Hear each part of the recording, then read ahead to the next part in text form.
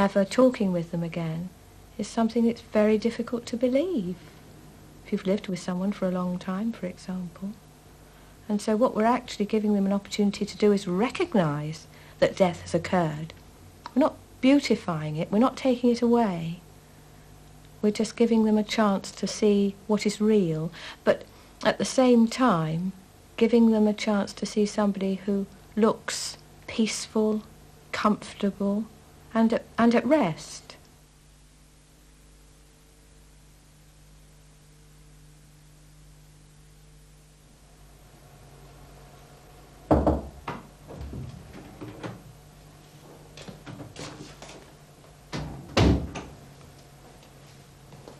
Oh, you're looking better, aren't you?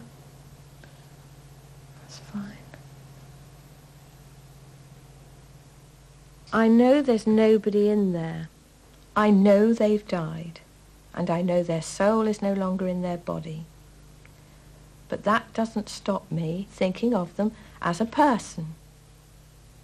For their family, they are still their husband, their wife, their child. And they will be until they're able to do that releasing, which is what our job's all about. Untying the bonds of relationship with them and enabling them to say the words that are so precious like goodbye, I love you, I'm sorry. You see, we're not trying to hide the fact that they're dead. That would be stupid. That would, that would just hold up the process of grief. That would be silly. But in fact, seeing somebody and recognizing that they are dead, but comfortable, but at peace, then they can start to make the journey of recovery. It is a journey and it often takes a long time. But we're setting their feet on the right path, if you like. We're setting it up for them, uh, doing our little bit towards it. That's why I like embalming. It makes a difference to other people. It's, it's a service. It's a, it's a good job.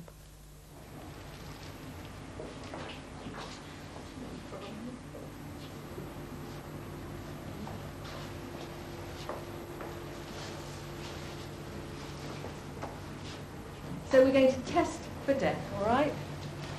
And undress the lady, making quite sure that we've got a modesty cloth in place, all right? Sheila Dix teaches undertakers the art of embalming on a diploma course which lasts for nine months. And this can go in your waste bin. First thing we're going to do is just to wash the eyeball carefully and we just check perfectly obvious. You can see signs in the eye of decomposition already taking place. All right. Keep the eyes closed because that's only um, right and proper. Test for death. All right we've established that this then has in fact um, done. You're all funeral directors already and I think for most of you you could honestly say that it's a job you thoroughly enjoy doing that you get enormous satisfaction and pleasure from. And what we're really doing in this course is just widening that scope. Our families, you already know, entrust to us something very precious, something very valuable. Yesterday, the person whom you are going to embalm today was probably still alive and living in the home or living in the hospital, and their relatives were talking to them, and doing all those personal things that one does with the people one loves. Today, that person is in our care. The family have entrusted him to us. And we've got to care. If we're going to do our job properly, that's exactly what we have to do. Care. Care very much.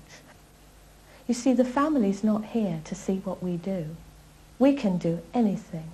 They won't know. They won't see. We will. We'll see. And we'll know whether we've let ourselves and our profession down. I think right at the very outset we've got to get this fixed in our heads. The other thing we've got to remember is that the dead cannot speak for themselves. They're helpless. And so because of that very helplessness, perhaps, we have a greater charge than ever. Right. Now, immediately under the skin, you find the muscle groups. Look, the muscle here, from the clavicle up to the, that's the, um, from the clavicle running up to the um, temporal bone there, and the other group of muscles just by the side of the windpipe. I'm just going to go through that layer. There's a small layer of fat there, and underneath there will be the will be the vein. Can you see the blood in that vein? It's dark blue. Now, anybody who hasn't seen, just come. Right, Malcolm. Okay. Right, now we've just got to dissect that out. Um, get it clear of the underlying tissue. Got to be a little careful in somebody who has died a day or two ago, just to make sure you don't puncture the vein. And there it is. Now you see it's, there's still some blood in it, so we're still able to identify it. We'll just slip the separator underneath it. There's the vein raised, no problem at all. It's very easy to talk about bodies when you're an embalmer, and then you stop thinking about people.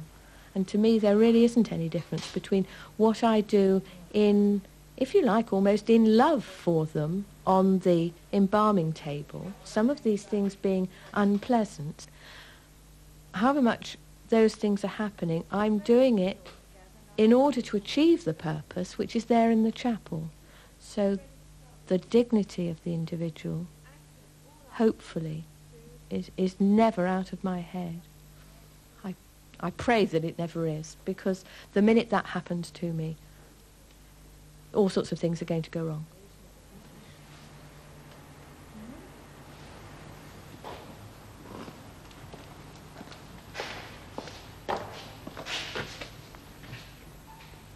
Nowadays, the dead are rarely laid out at home, but are kept in funeral parlours until cremation or burial. In the cities, some 75% of all dead people are embalmed, although in many cases the relatives are unaware it's happened. Undertakers don't use the word embalming. They usually call it hygienic treatment or care of the body.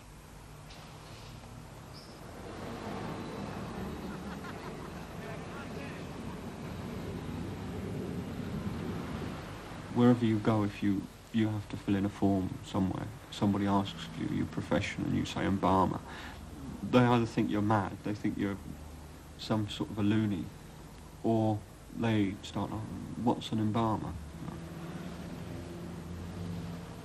Possibly um, there might there there might be a tendency for the profession to draw eccentric people, uh, and slightly strange people toward.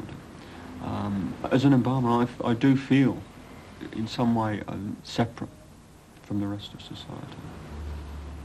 In, in as much as um, I'm privileged uh, to, to, to deal with a, a function which, which is unique.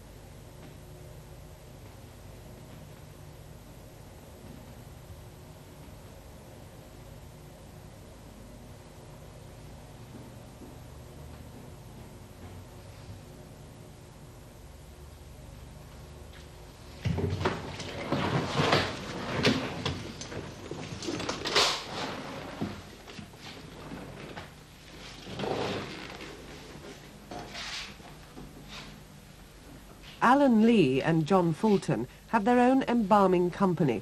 They work on contract to one of the largest undertakers in this country. It takes about an hour to embalm a body. The family will be charged some £35 as part of the cost of the funeral. The amount of work each case involves varies greatly, depending on the condition of the body at death. But the trade embalmer is still paid a flat rate, £20 a body.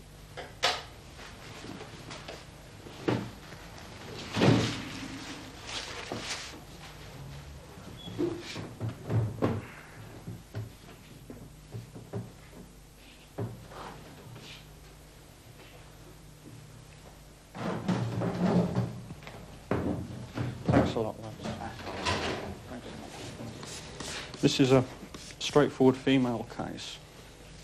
I'm just washing the body down with a solution of disinfectant in order to kill surface bacteria to in order to protect ourselves really and anyone else who should handle the body after embalming. Um, hygiene is really one of the basic aspects of embalming. Uh, and obviously we have to be extremely careful. We can never be sure that we're not dealing with a case which has died or suffered from a, a communicable disease.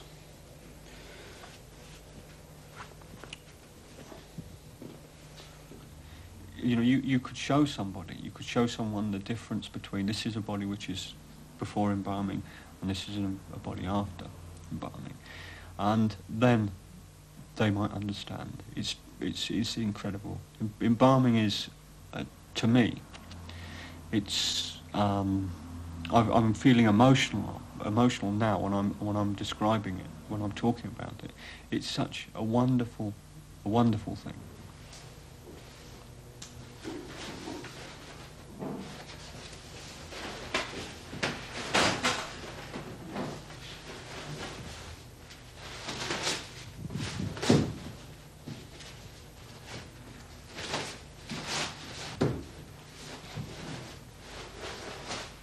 Pretended to be someone else whilst I was initially getting to grips with embalming before I actually had a lot of experience.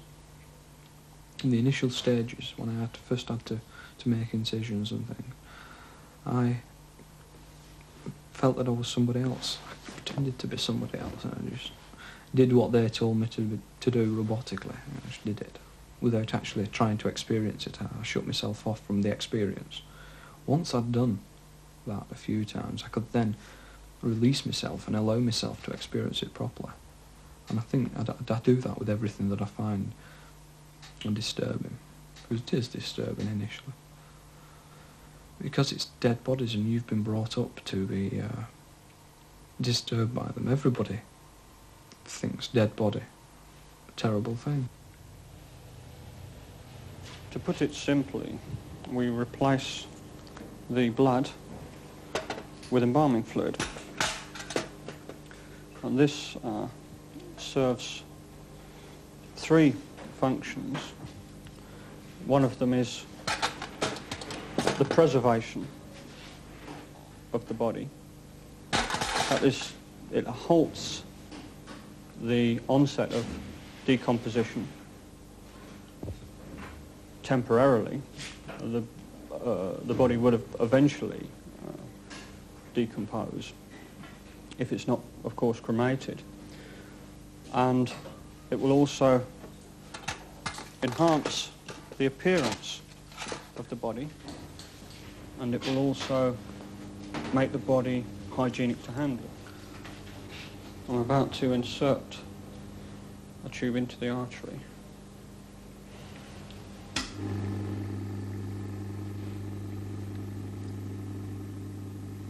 This pump gives us pressure, pushes the fluid in.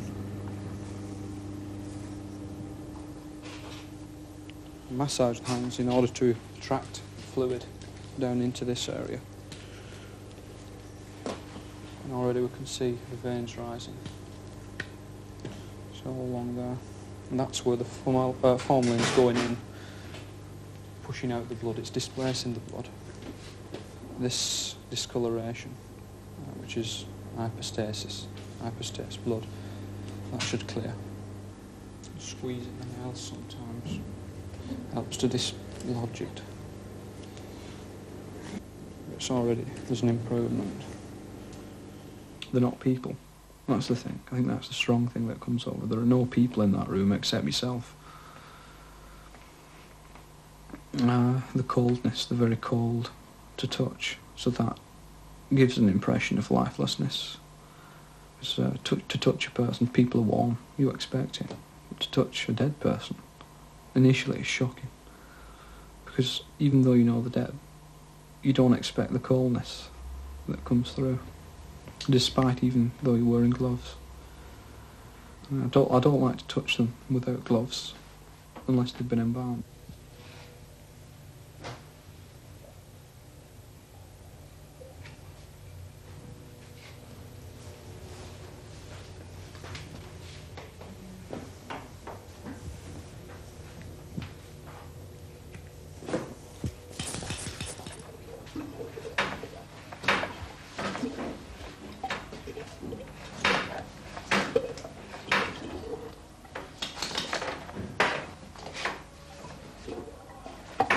embalming is carried out very often without the client really knowing. Uh, obviously, the, um, the, the funeral director has to uh, obtain some kind of consent from the family for embalming to, to be carried out. But uh, he would often use other terms. But embalming can be carried out.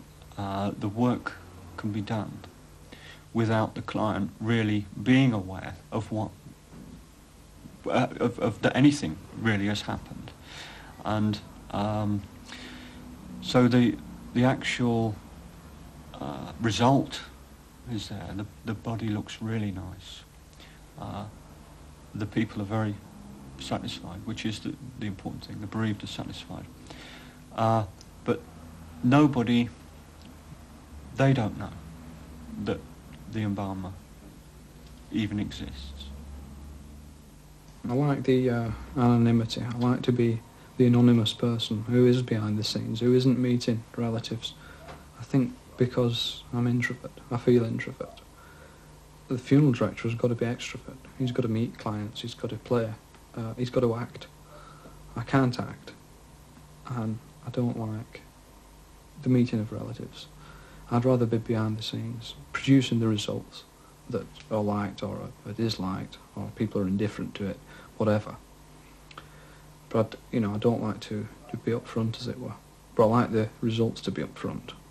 And, and the body is the most important part of the funeral. It's the most important guest at the funeral. And I've got to make him look, or uh, look right.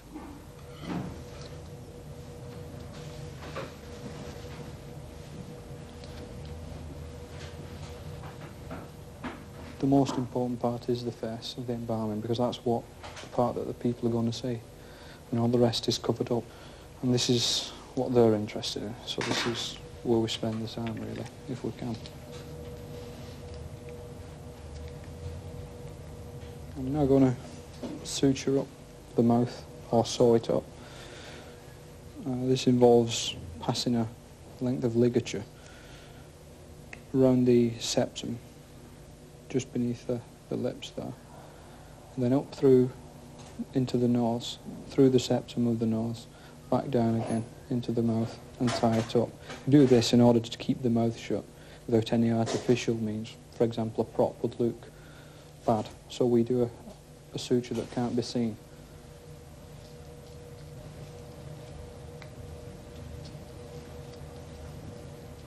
I've certainly not, by no means, mastered embalming. And I've been doing it for four years, constantly, every single day, with a high volume eye workload, case load. And sometimes I would do uh, 10 cases in a day when I'm busy. When I'm quiet, I do at least three or four in a day. And that's every day. Sometimes during particularly busy periods, it's easy to imagine that instead of people dying in hospitals or in houses, there is some factory producing bodies for us to work on. Uh, and not that they're coming out of hospitals and, and people are physically dying in houses. It's, it's easy to imagine that sometimes because you're getting one after another, after another.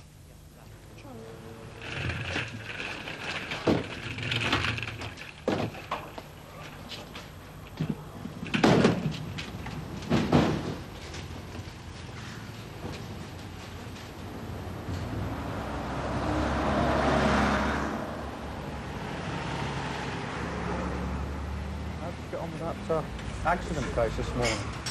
That one that was knocked down? Yeah. Ah. Oh, thanks very much. It was okay. It was difficult. We got all the, the damage. The damage all down here. What, on the right, right side of the car? And I cut it all out. Cut all the, all the bad flesh away. And put wax in. And it was okay, but it was Try and add a little bit of it with the uh, face cloth. But most of it, all that side of the face is wax. Hmm. And makeup over it, obviously. But they wanted to view it. They wanted to view it. This is the thing. You know, two, two, about three hours, hmm. just to sort of get the hmm. feature back to what it was, because all the bones were crushed. You can never get them 100 percent, you know. They insist on viewing that. Yeah, this is the thing, and they're definitely going to view it, no matter what. Oh, certainly. They should be pleased. Well, you know what people are like. Yeah. You don't seem to understand a lot of I- time, but it's to- sometimes impossible. Yeah. To be quite honest, what I, from what I heard, I didn't think that you'd, uh, you'd be able to do anything with it at all.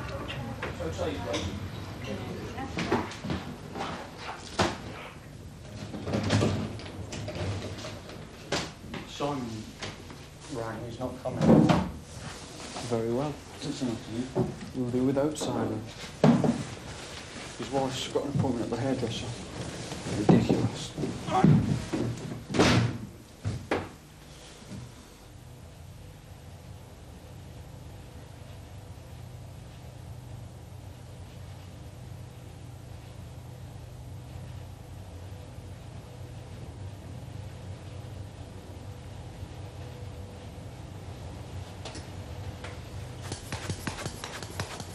I mean, it's, it's quite simple to work out a workable system.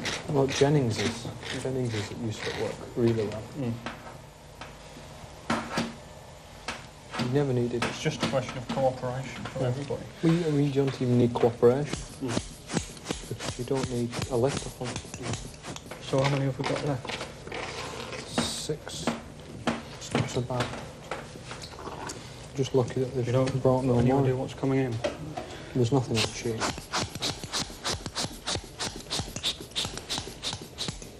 Could you pass me my sandwich?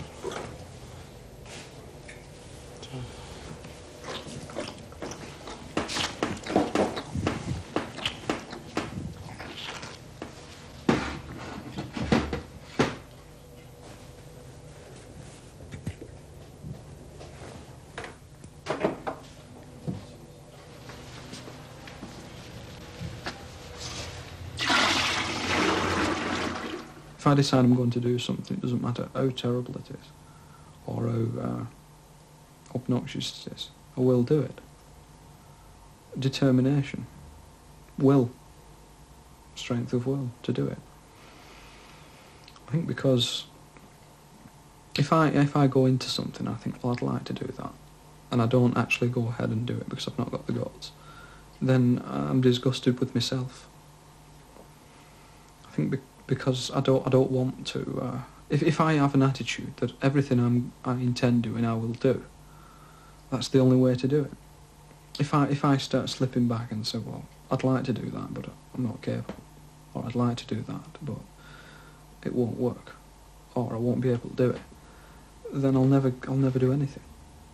So if I have an inkling, if I want to do something, I've got to use strength of will. It doesn't matter how terrible it is. I'll do it. I'll force myself through and do it.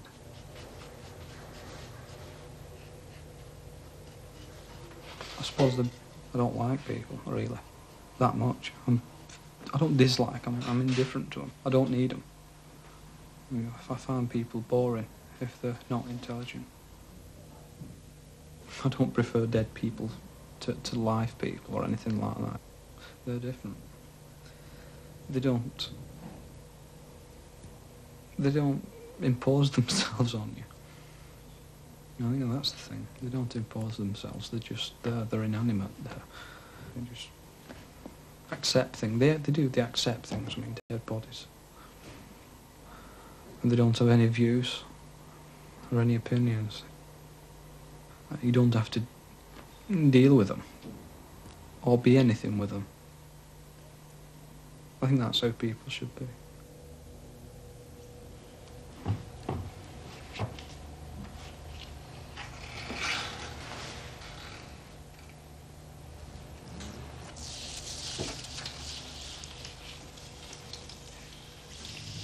I know that, that John doesn't agree with, with me uh, about this, but I actually have some belief in, uh, in life after death.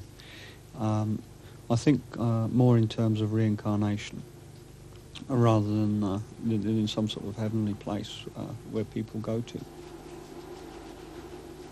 Uh, it's, it's just, it seems strange that, um, that something which, which had a personality is reduced only simply to what is a dead body. It seems more likely than uh, there just being an end and uh, bodies are disposed of. Uh, and that's it.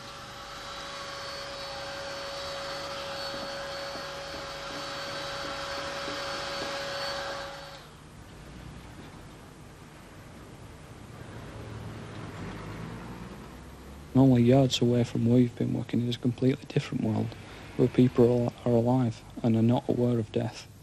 It's not prominent in their minds at all, yet it's an everyday thing to me. And it's sometimes hard, it doesn't correspond really. It's hard to put the two together.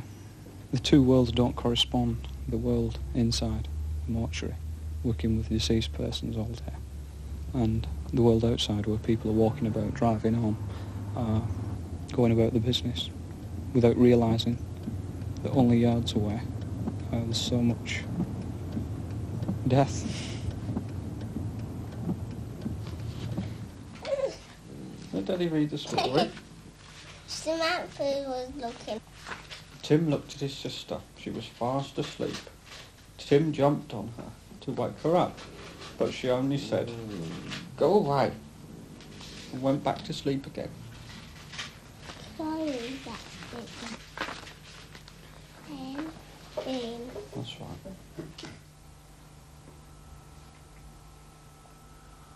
If I could choose where I live, or still live, it would be in the middle of a field, mm-hmm. away from people. Why have I not got as many as you? I don't want to have contact with them. I don't like going to places where there are lots of people. For example, I don't like neighbours coming in and out, things like that. Everybody tries to impress you. Always. Everybody does it. I don't like that. Everybody's acting. I find everybody false. There's very, very, very few people who aren't false. Um, you know, it's even me, obviously me as well. Everybody. We're all guilty of it, being false. Sure, don't talk to me.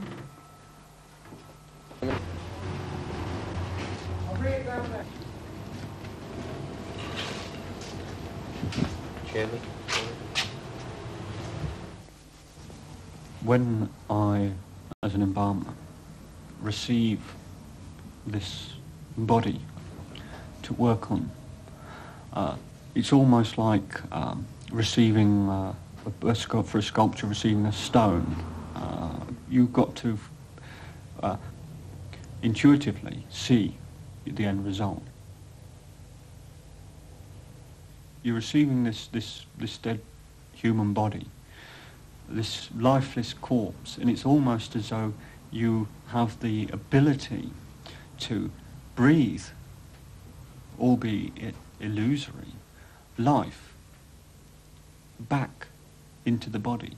That's, that's really the crux of what we're trying to do with the, the standard, ordinary, normal case. We're trying to recreate life, an illusory life, but recreate it.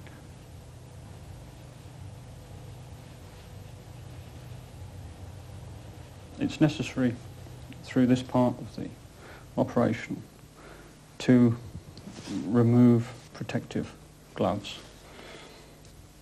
And it's necessary for the actual warmth of our hands to soften the cosmetic cream. This is a, a straightforward case. It's by no means um, a, one of the more difficult cases which we might have to deal with. Um, being a more difficult case would be an, an accident case where uh, considerably more did. In which cases we use a wax to restore the tissues which, which are damaged. The same would apply to some facial cancers.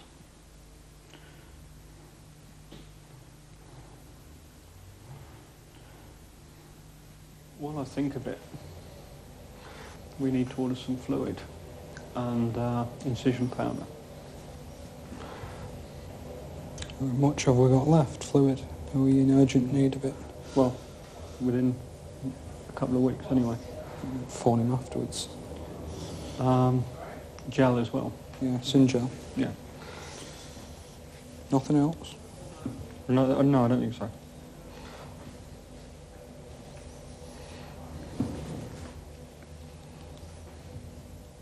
When you're in the presence of deceased persons, I often wonder how, how intelligent are they? You can't assess how intelligent they are. And they could be wildly intelligent or they could be stupid or whatever. But they're all the same now. It's a great leveler, is death. Everybody's same. You know, they have same expressions on their faces. They assume the same positions. They have the same intelligence. Zero. That's that's interesting to me. I always wonder where they stood and what sort of a hierarchy they they held, what positions they held, what they'd achieved. All these things that they've not got anymore. They've lost. They've lost all their knowledge, all their experience. Everything's gone. It's hmm. died with them. Only there, Fred. I'm just checking. Right. Okay. The lid's coming up, please. I just want to check.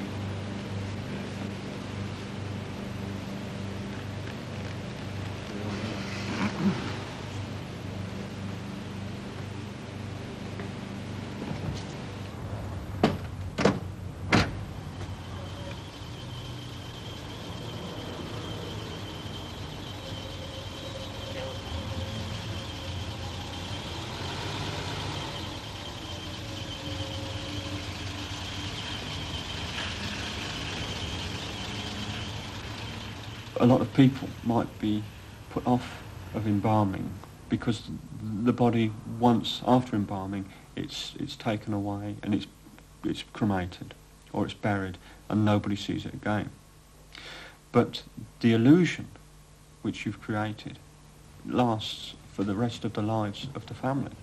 That's their last memory which they carry with them for the rest of their life.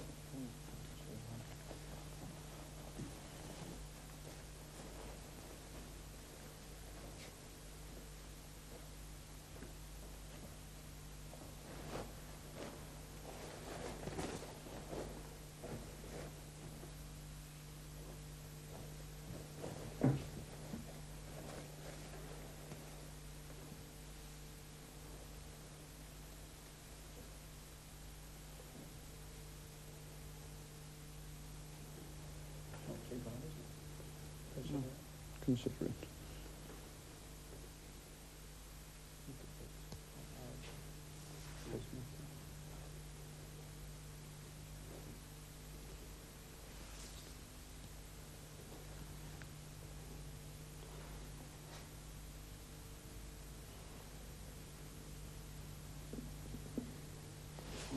Change